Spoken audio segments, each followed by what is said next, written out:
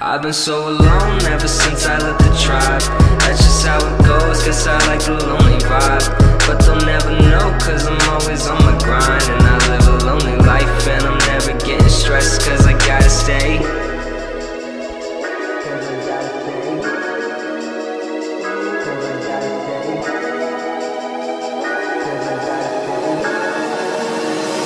Cause I gotta stay.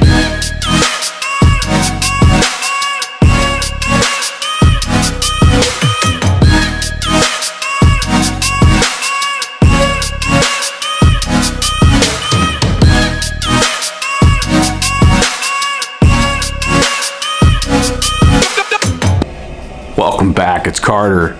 Sorry for that long intro. As you can tell, I'm out of town. So I'm not around any rigs, so I'm sorry if you guys been waiting for that overclocking of the RX series. When I get back, I promise you I'll be making that video. More than likely it's going to be on Thursday this week. So definitely stay tuned for that. I know that there's been several people asking for that and I want to give that to you. Unfortunately, I don't have any graphics card or any mining rigs here with me. I'm out of town for just another day and then we'll go ahead and do that video. Now, unfortunately, I haven't got a lot of content for today's video. Bottom line, I've been really busy with another conference. However, tomorrow we're going to take a little stroll down to the local micro center out here in DC and see what we can get. What I'm going to try to do is put together a couple different RX 480 rigs for that overclocking session just having the XFX, I don't think is going to do it justice. So I want to have the Strix that we have, and then I think I'm going to pick up a whole series of those Red Devil RX 480s. That way you can have three different setups for the overclocking session to give you know a proper look at it for you guys.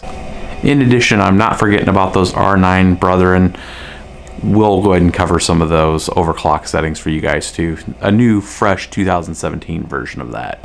Of course, it's not just going to be the overclock. We'll go ahead and take a look at ambient temperatures. We'll look at the decimals that the actual cards are putting out to kind of give a full spectrum of what you'd be looking at if you were to go ahead and pick up a mining rig like that, run it, and then figure out, you know, how much power cost is it going to be running, and then obviously look at some voltage mods that we can do for it. We may even dive into that BIOS, but we're still doing some testing with that, as I said in the previous video, and I want to make sure we really have that one dialed in before we bring that one to you.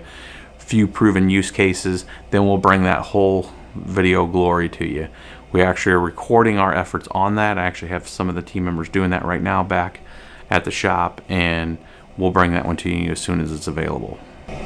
Also, and in closing, I wanted to give some folks an option on and if they can't use ethos or they can't get it to work or it's too you know difficult there are other options out there and one of them is a free option and i'll put the link below. It's at simplemining.net so i know that wasn't a lot of content.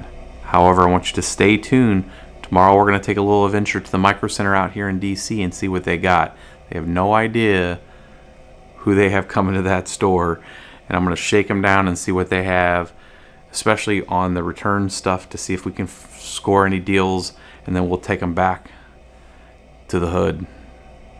You guys stay tuned. Thank you for tuning in. Please subscribe and share. We'll get that RX 480 overclocking video out to you. I guess I'm promising you. We're targeting that again for Thursday. Stay tuned, share, like, subscribe. Thanks, guys.